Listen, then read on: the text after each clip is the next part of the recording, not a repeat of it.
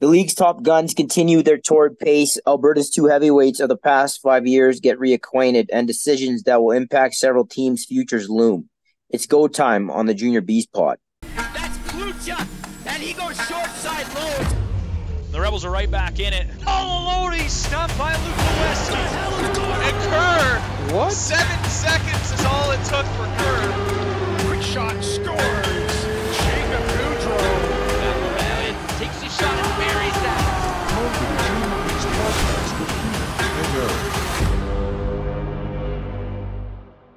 Well, Keenen, plenty of action this past week. Let's uh, go through a bit of a rundown on what took place over the past calendar week. Well, a trifecta of games to kick off the weekend on Friday the 14th as the Rampage make the trip up north into St. Albert, knocking off the Crude 11 to 10. The SWAT come into town from out east into the Mounties. 14-12 victory the SWAT walk away with. And the Silvertips and the Chill battle it out at Brentwood with the Silvertips coming up 6-5 victorious in that one. Moving on to the 15th on Saturday, five games on the docket as the Chill take out the Outlaws 12 8. The SWAT make the trip up north. Rebels taking them down by a hefty margin of 20 to 3. The Shamrocks and the Warriors, again, like you said in the intro, they get reacquainted. The Shamrocks come out victorious, uh, knocking off the Warriors' long win streak inside the Bill Hunter Arena 10 6 final score for the Shamrocks.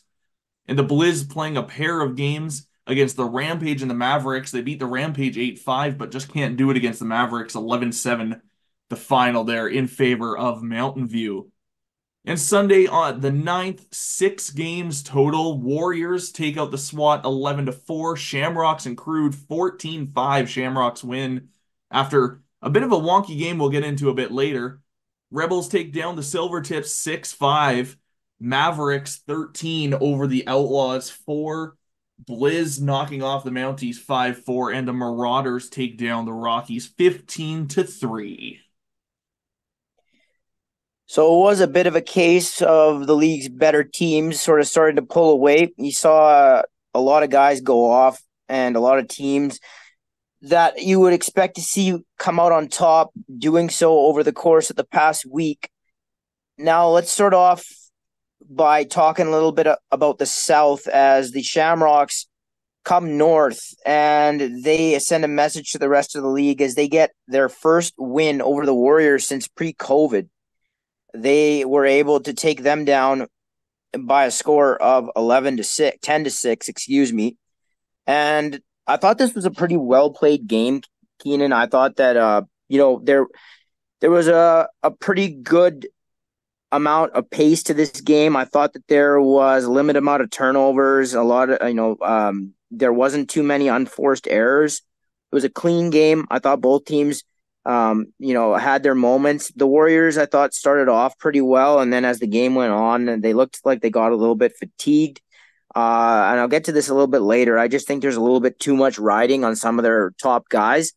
And the Shamrocks, I thought, did a better job of staying out of the box, and their power play clicked a little bit better than maybe what the Warriors did, although I don't have the numbers in front of me. But at the end of the day, I, I thought that the Shamrocks were well deserving of, of the win. Um, the Warriors true to form. I thought they played hard, um, just fell a little bit short. And then the Shamrocks able to go into St. Albert the next day, and the crude able to get up three nothing in that one before the the Shamrocks sort of took over. I think it was like six or seven five after the second period. I don't know you did that game, Keenen, but um, yeah, that uh, game was a little bit weird inside the Jarome Iginla. I mean, I don't think anybody kind of expected the crude to hold, to go toe to toe with the Shamrocks, but uh, yeah, through the first 40 minutes, I mean, it went into the second uh, intermission.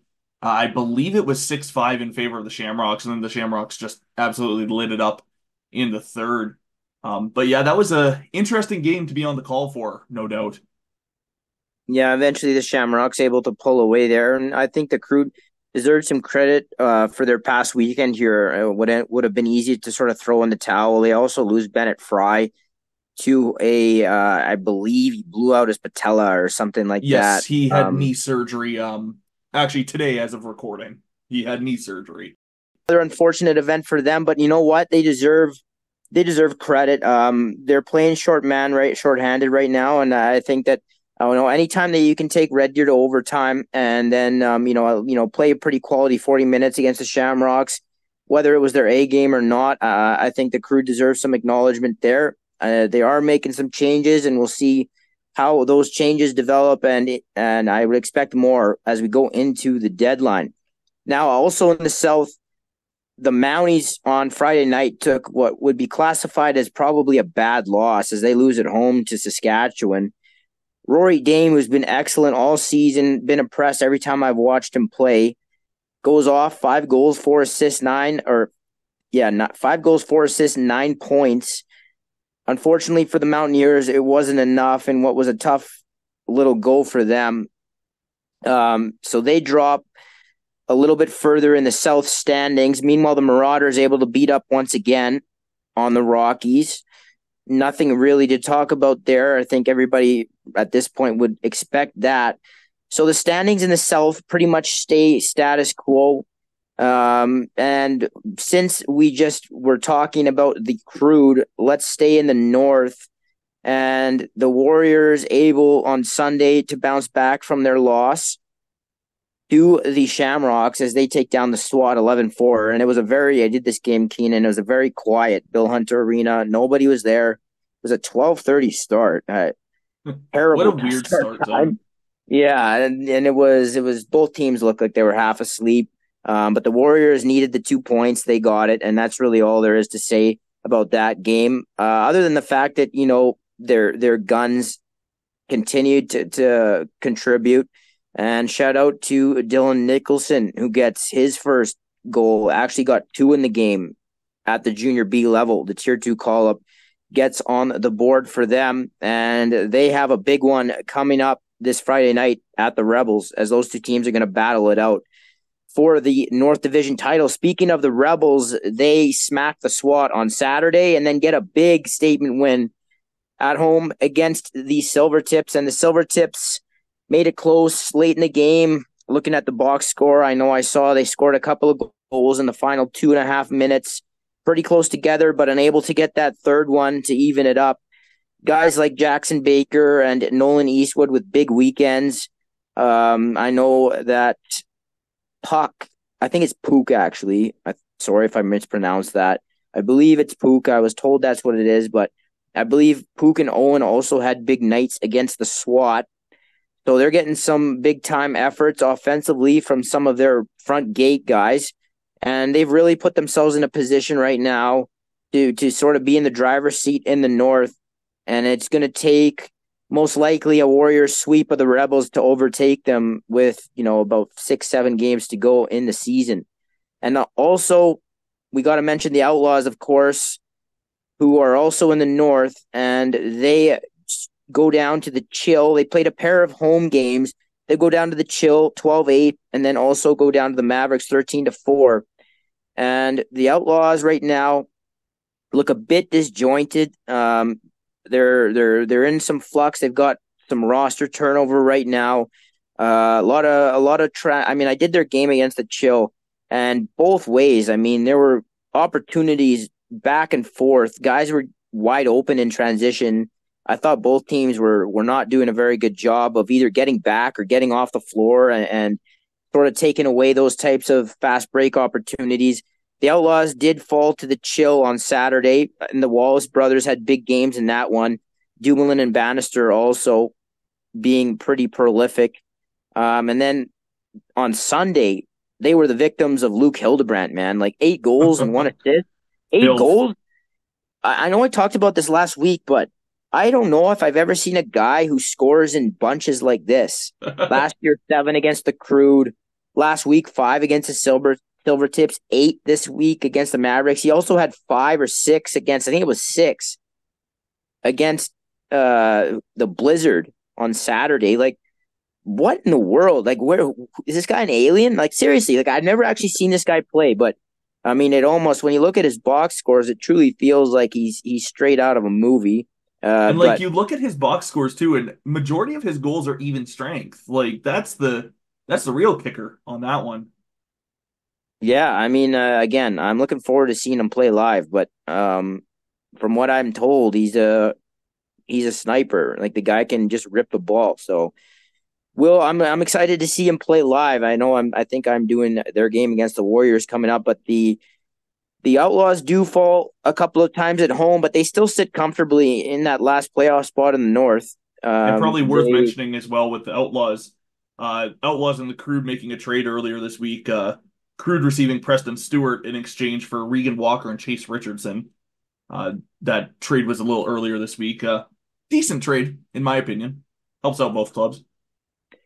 Yeah, so they continue to, to to turn to turn their roster over a little bit, and a lot of changes. I would expect I would expect more changes out of there as we move closer to the deadline. But they yeah, so they they dropped those two games, but they're still comfortably in that last playoff spot, and they still have a game against the Rockies. Essentially, the Crude would have to win four of their last five to surpass them, and um, I don't I don't think anybody would say that that's likely. It's not impossible, but it's not likely, especially with you know the uh just where their roster is sitting right now. So that's the North. Um and we'll talk a little bit more about what could change there. But I want to move over to the Central and we just talked about the Mavericks and they come away with another couple of wins. They're red hot right now. They have opened up a little bit of a lead over Red Deer in that division. I know that Red Deer did come away with the overtime win against the crude Tisday and, and Dowswell with big games, six points and five points respectively. Uh, but then they did. I mean, this is, and I, I wanted to talk about this. They play at eight or eight thirty against the Crude in St. Albert, and then eleven a.m. back at home against the Blizzard. Well, I, I just I don't like uh, seriously. I don't. There's no, really no words that I can provide right now. But when I saw that, I was like, "What?" Like I know the Blizzard had to play two games that day, but why not have them play it, you know, whatever, one thirty or two o'clock against the Mavericks, and then have them play Red Deer at night, like eight o'clock. I I don't. Anyways, I, when I saw that, I just kind of shook my head. But Red Deer does fall to the Blizzard eight five, so they split. They're kind of playing a little bit, a little bit down from where they were a couple of weeks ago, just from what I've seen um, and just judging from some of the box scores. Uh, but you know they still got plenty of time, and they're still got a little bit of a lead over the Chill, who I mentioned beat the Outlaws, but also suffered a, suffered a loss the night before, a tight one, six five to the Silver Tips. And man, the Chill have to lead the league in one goal and two goal losses. I don't even think it's close. Not even. Um, yeah, they're victims of of some very very unfortunate results. I would say. I mean, just the odds of losing that many one goal, two goal games are pretty low. Uh, again, though, um, they they take the silver tips to the brink, fall short. They split, so they have some work to to do. The silver tips, barring a collapse, are going to finish up atop that division. Uh, I just don't think there's enough racetrack, although they are playing a little bit, I would say a little bit down from where they were uh, at the start of the season. I'd Um, almost the- call it a bit sloppy compared to the start of the season for the Silver Tips. I don't know what's been going on recently, but to me, it seems like it's been a little bit of sloppy play from them. maybe a little bit of complacency. Um, you know, they got out to that big lead in the division, uh, and that happens sometimes. This this part, like this section of the schedule, as you sort of move through late June or like mid to late June, right before the final three or four games of the season, as teams really kind of tune up for the playoffs and have made their deadline moves. Right before that, there's sometimes there a lull. There's a lull with some teams that are sort of positioned comfortably.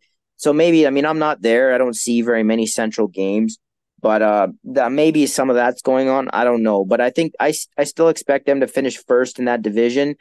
So really, what it's going to come down to right now is the Chill are going to have to go five and I would say five and two in the remaining seven games, and I think they have seven games left. It could be six, but I think it's seven.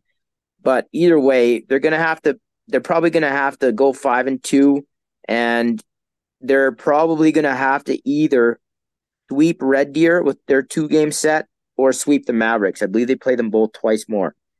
So if they can kind of get four points against one of those two teams, that would go a long way in chasing one of them down for a playoff spot.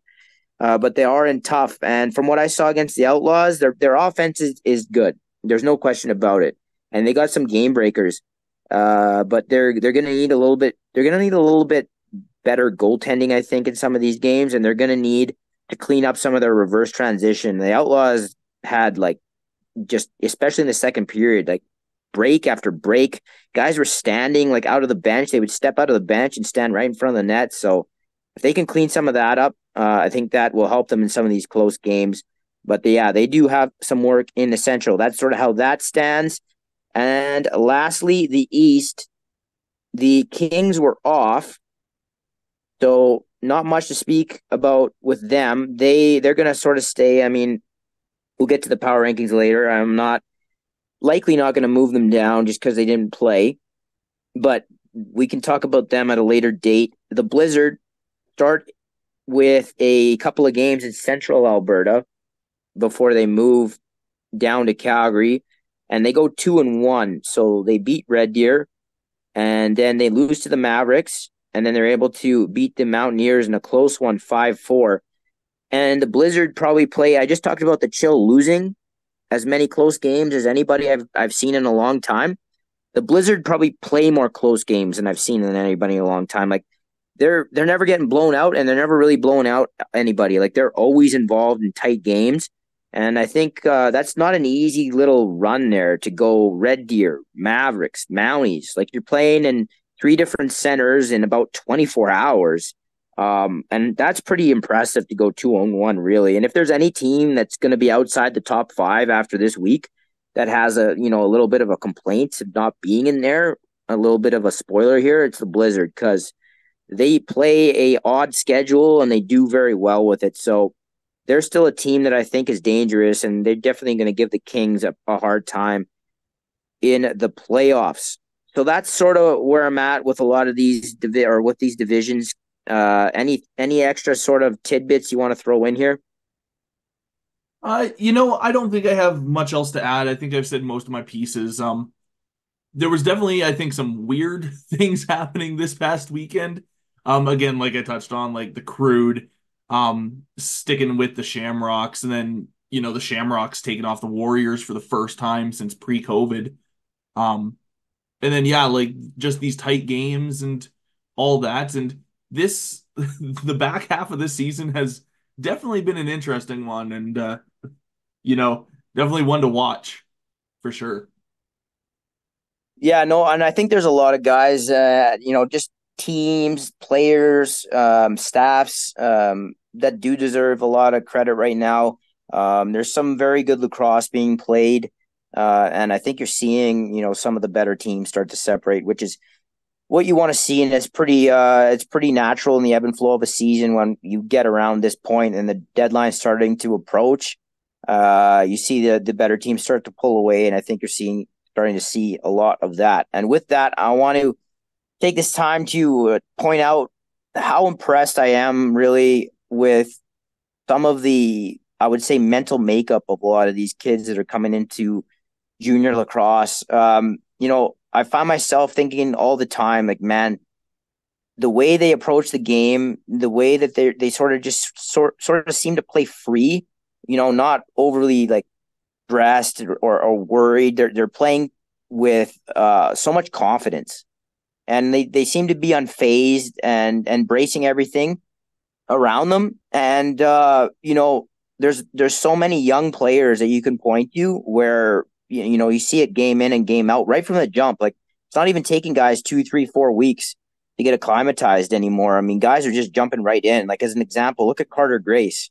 You know, there's not a whole lot surrounding him to insulate him there, uh personnel wise and and he's just been able to and he takes like so much abuse on the floor um for guys like that to just be comfortable and be able to jump in the way they do um is i think is something that deserves some recognition so i wanted to, to point that out and you know as i as a guy like myself who struggled with a ton of anxiety and the mental side of things as a player during my career um and had that really derail it uh, I just have so much respect and appreciation for how these guys approach the game now and uh, how they play on an uninhibited. Um, and so I just wanted to take some time to to point that out because I think it's something that it sounds simple, but I think a lot of people who've never played sports um, especially at a higher level, wouldn't quite understand.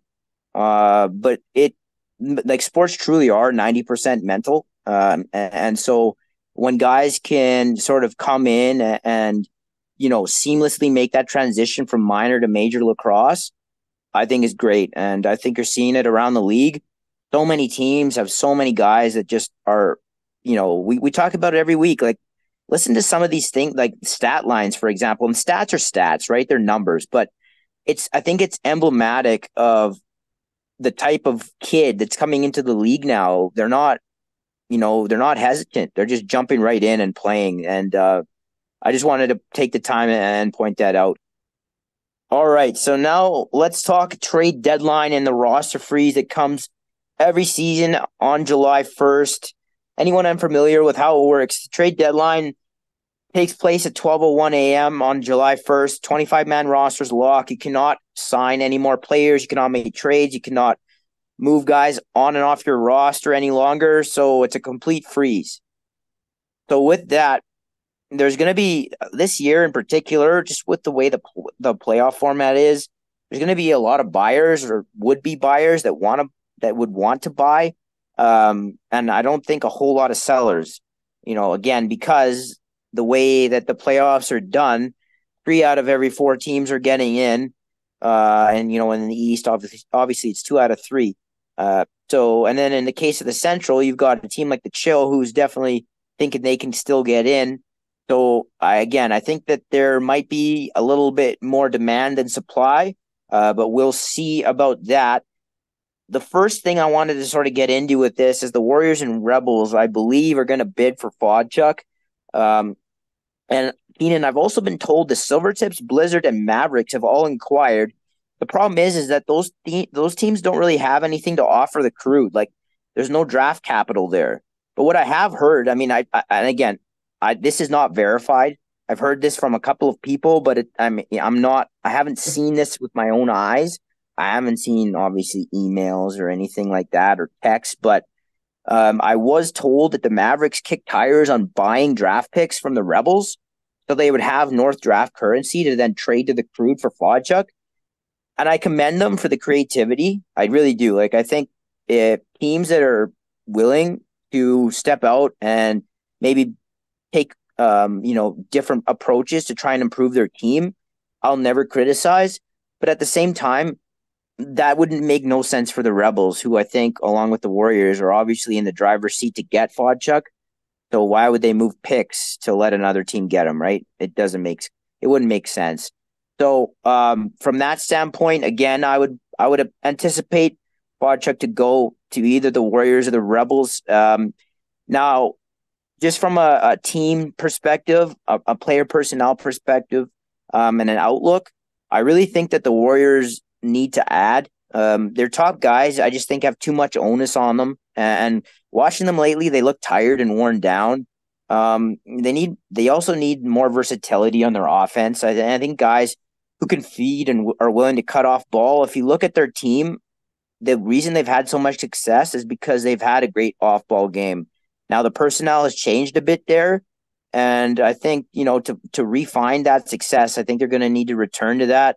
Uh, having Graydon Cornfield around more on the bench, I think, is going to be paramount. I think he can help with that immensely. Uh, and so I, but I also think a guy like Fodchuk just makes so, so much sense for them. Um, and I think that if I'm putting together or if I'm trying to get him, I'm putting together whatever package necessary uh, because I think a real rebuild is on the horizon for them, and they might as well go for it while they can. Now, from a Rebels perspective, I think they might be a little bit more balanced right now, roster wise, than the Warriors. Um, they're returning Reed Low, uh, who stepped on the floor, I know, for a couple of games this past week. He's recovering from an injury. So um, they're making sure that he's kind of getting back into the fold. I do think that they could use a passer like Fodchuk, a guy that can feed and distribute the ball. So I think that uh, he also makes sense for them. Now, I I really do think these those two teams are so close that he could make the difference this year. So watch for that.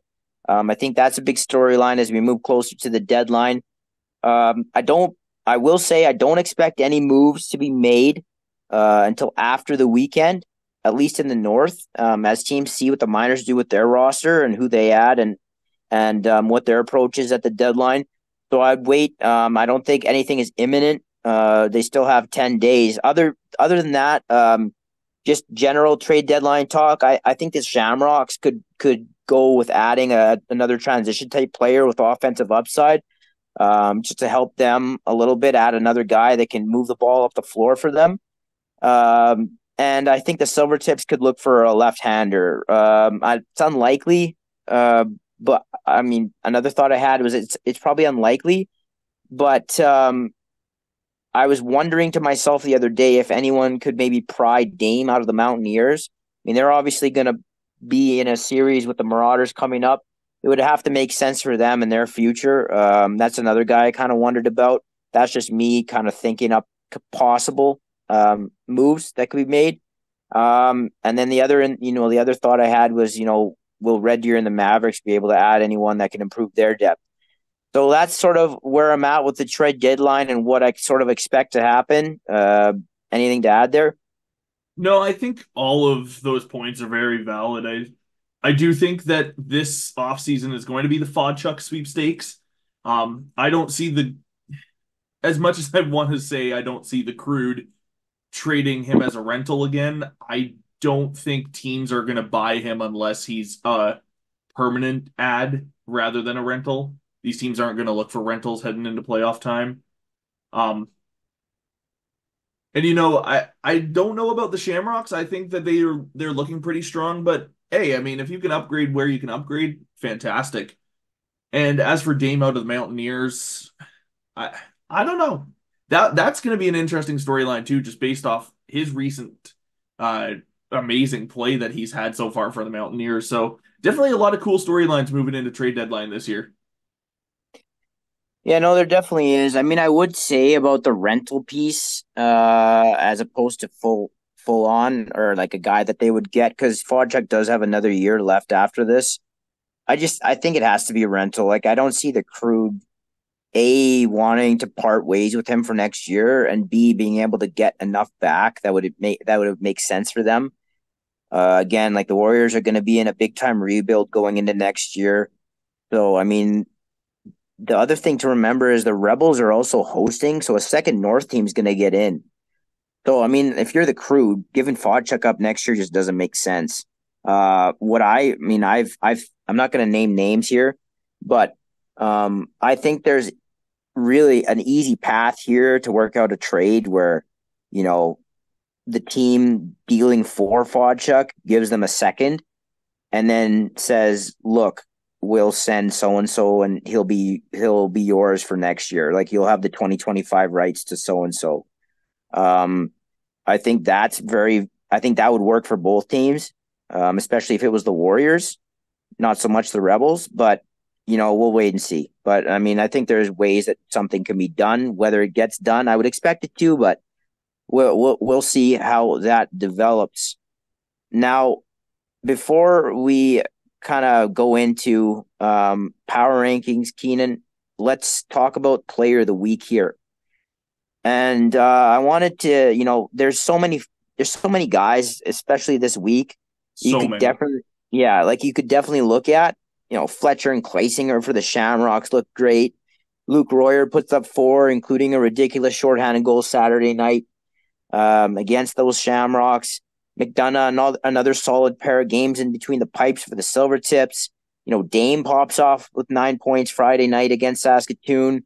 Um, Baker and Eastwood do their thing for the Rebels, but I mean, how how do you ignore Luke Hildebrandt? Like six goals against the Blizzard Saturday, and then eight and one against the Outlaws Sunday. Like, what are we even talking about? Like, forget the RMLL. Find a harder scorer in the entire country right now, in Junior B lacrosse at least. Like, Luke Hildebrandt has to be the player of the week. Unless you disagree here, Keenen, I that's I think that's the answer. If if you think I disagree, you are insane. A 14 goal weekend. I mean, come on, man. Some of these teams aren't even scoring 14 in a single game, let alone one player scoring 14 over two. Like, come on. Luke 80%. Hildebrandt, you you get the flowers for this week, man. Yeah, 70 to 75% of the players in the league won't score 14 goals in a season. So it's unbelievable. Um, I, and I hate to sound like a broken record because I know we gave it to him last week with Carter Grace, but uh, I mean, just no choice. I know, like, I had seen that he had scored. I'd seen it that he had scored eight goals on Sunday. Yeah, it was Sunday against the Outlaws, but I didn't realize that he had scored six against the Blizzard as well until I sort of looked back and I was like, "What the?" I just that's just it's inhumane. It's it's ridiculous. So there's really no other word way to put it. Um, so he is the player of the week out of the Mountain View Mavericks, Luke Hildebrandt. So power rankings time, and this one, I mean, for this right now, I had to, I had to keep the top the way it is. Uh, the Shamrock's going to stay at one. Really, no explanation needed for that. They get the monkey off their back, beating the Warriors for the first time in five years.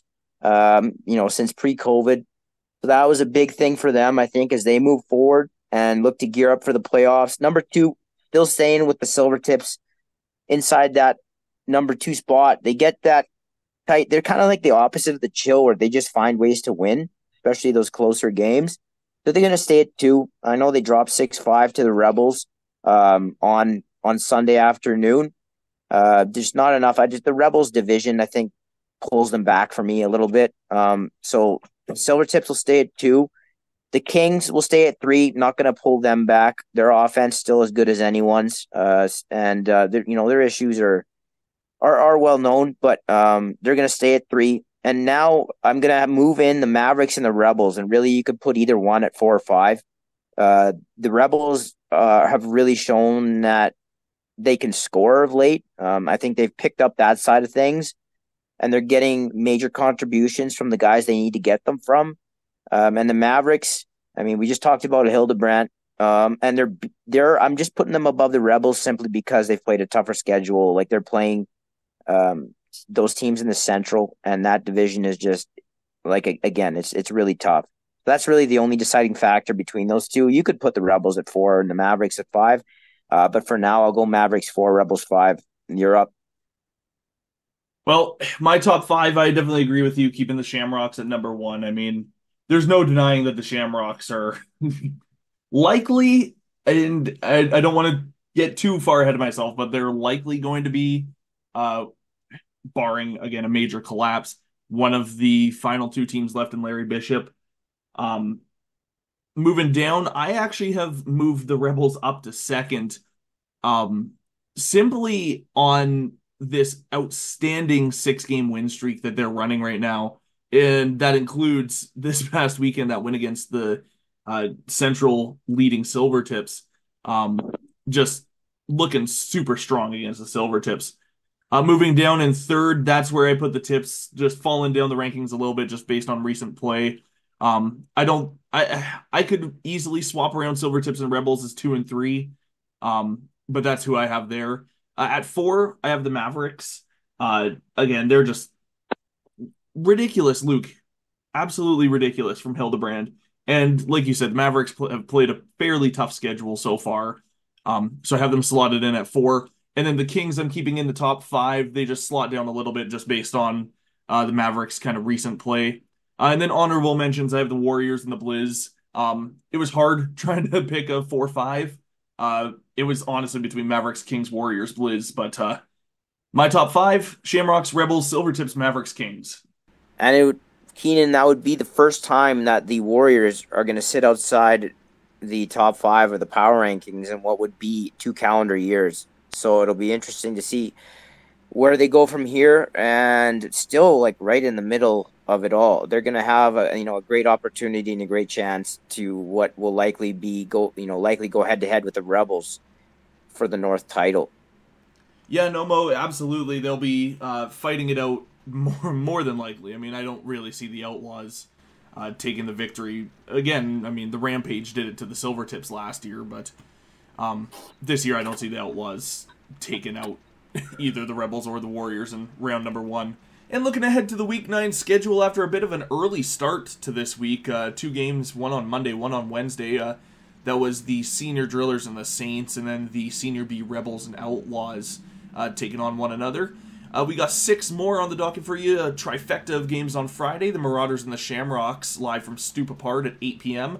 Also 8 p.m. Warriors and Rebels at Game Moyer Recreation Center, and the Regina Queen City Kings coming out to face the Silvertips. 8:30 p.m. start time from Plainsman Arena. Two games on Saturday. The Mounties taking on the Shamrocks. 6 p.m. start time from the Stew, and Saturday 8 p.m. from Jarome Iginla Arena. The Rebels and the Crude and the lone game on Sunday, 1 p.m. from Bill Hunter, the Mavericks taking on the Warriors.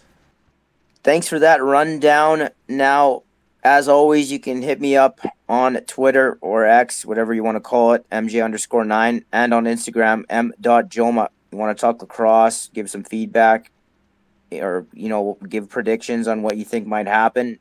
I welcome all of it as we get close to the playoffs. Now, on a much more serious note, I just wanted to uh, take the time to reach out to the lacrosse community and let them know that former Junior A Edmonton Eclipse goaltender and Edmonton Rush draft pick Mike DiGirolamo was recently admitted to the ICU and is currently fighting for his life. Um, I ask that everybody, whether you know him or not, you probably know somebody that does. Um, and I I just ask that everybody out there sends their thoughts and prayers to him and his family. You got this, Mike. You've always been a battler, and I know you're going to come out of this on the other side. Thanks so much for listening to the Junior Beast Pod. We'll talk to you again next week. So long, everybody.